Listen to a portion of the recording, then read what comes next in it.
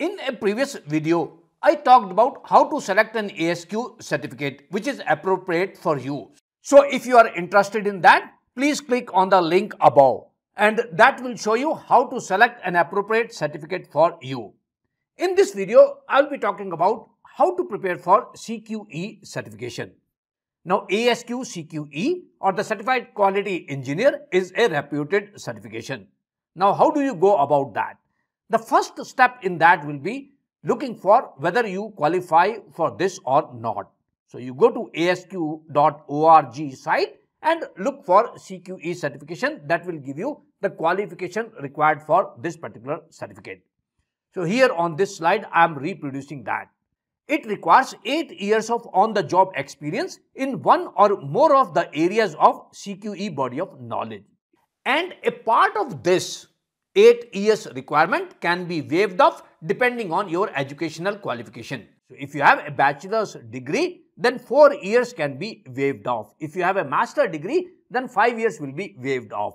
So, for a person with a bachelor degree, you only need 4 years of experience and out of that 3 years should be in the decision making position. Now many times people ask me what does that mean? Decision making position is any position where you make decision. For example, even if you are inspecting an item, item is good or bad, you are making a decision there.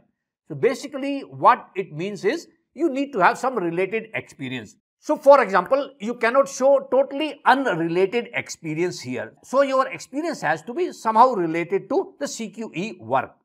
So that is the first thing, looking at whether you qualify for this exam or not. So once you have decided that you qualify for this exam, the next thing will be submitting the application for this.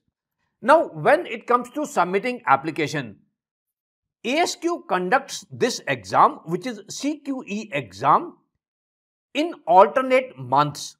So, for example, this exam is not conducted in the month of January. It's conducted in February, then in April, June, August, October and December. So, these are the months this particular exam is conducted by ASQ. Now, these exams are conducted at Prometric centers or you can also take these exams at your home. And for that, there are certain conditions there. For example, you need to have a room which is closed room and Prometric will do the inspection of that room using your camera and all those things. So basically there are two options in Prometric center or at your own home. Now comes the question of when you should apply for this exam. So to deal with that, what I have here is a timeline and that basically will help you in deciding that when you should go for this exam or when you should book this exam. Let's say that your target is to go for this exam in June. So, this is your target in June. Now, to appear in the exam in June, what you have to do is you need to apply one month in advance. So, for June exam, the application deadline is 5th of May. Before that, you need to apply for this exam. So, basically, when you apply for the exam and when you actually go for that exam, you have 25 to 55 days. So if 5th of May you apply, then you have 25 days up to June 1st and maybe end of June, you will have around 55 days. That is the time you get once you commit to a date or commit to the month. Now comes the question of what is the right time? Let's say you decided today that you want to go for CQE certification. So should I apply right now or should I wait? Should I prepare something and then apply? That is the question which I have been asked multiple times. So here are my thought on that. Let's say the application deadline is 5th of May. The first thing what I will suggest is even before you apply for the exam or think about applying for this, start doing some preparation. And my suggestion will be buy the online course which I am offering you buy that course because that is one of the smallest investment in terms of money. You spend very little amount on this particular course. So, you take that course and you start working on that. You start preparing for the exam. Once you have gone somewhere half of that course, you will get a good understanding that what all time you need for this.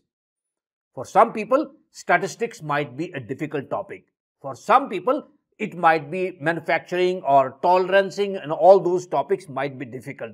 So you will get a good idea that how much time you need for preparation. So the first thing here is, my suggestion is, let's say in March, you buy the course and you start preparing.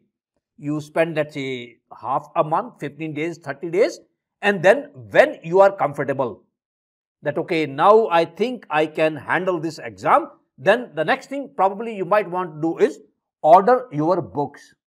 This is an open book exam. So you can take your books in that. So I will strongly suggest that in addition to the course, you buy some books as well and be very familiar with those books. And what books I recommend? First thing is I recommend ASQ handbook. So for each ASQ exam, there is an ASQ handbook. So here we are talking about CQE, but right now in front of me, I have a handbook which is for the Master Black Belt. So similar to this, there will be an handbook for CQE as well. You buy that. You can buy that from ASQ website, asq.org or you can buy that from Amazon. So when preparing for this exam, use this book as well along with the course.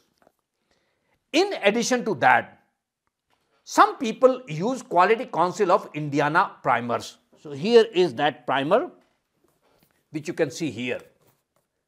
This is CQE primer. So you can buy this as well or you can buy one of these two things, handbook or the primer.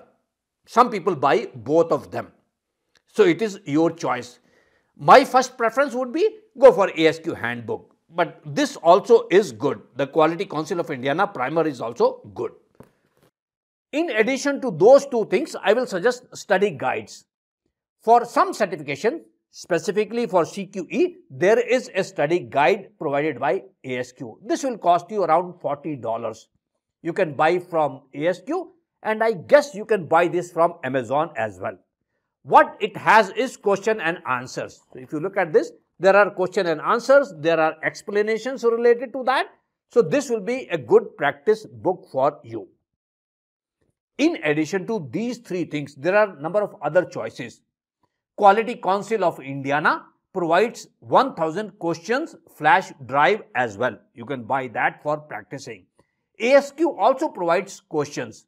So you can go to ASQ website, asq.org and they also provide practice online questions. You can buy those as well.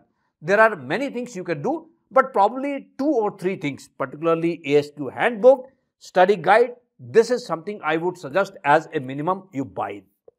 So this is something which you will be doing, let's say in April. So in March, you bought the course, you started working on that. In April, you place an order for these books. So these books will come and you will start preparing with them as well slowly as you get more confidence that you will be able to do that and then on 5th of May you put your application I would say before that much before that put your application for the exam and then you appear in the exam somewhere in June from 1st of June to the end of June.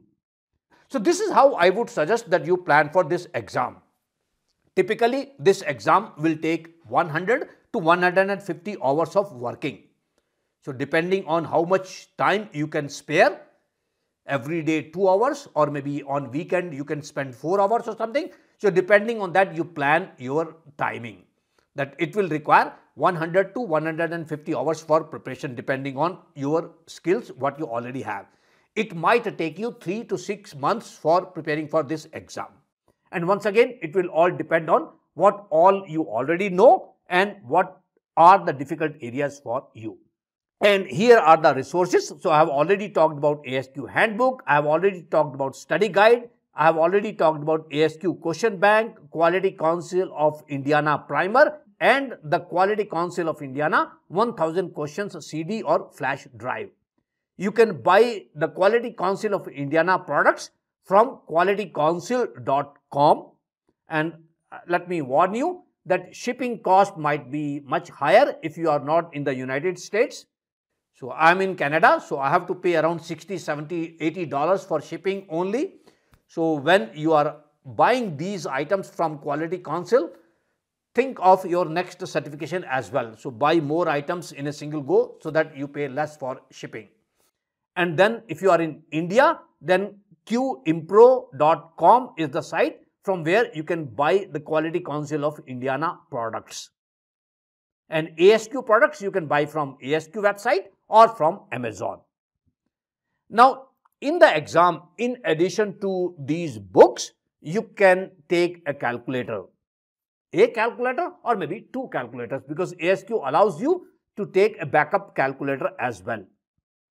Here I have mentioned two calculators TI30XA which is a very basic calculator but it does have statistical functions in that but the more advanced calculator which I strongly suggest is FX991EX. And on that I have a separate course on Udemy which teaches you how to use this particular calculator particularly in context of ASQ exams. And then you need some tables, normal distribution table, binomial distribution tables, etc. So those are generally available in your handbook or in the primer which I have discussed earlier.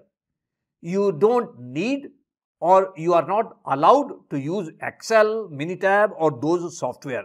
So in any of my courses, if I have used Excel or Minitab, that is just to demonstrate the concept. So you will not be required or you will not be allowed to use these software in the ASQ exams.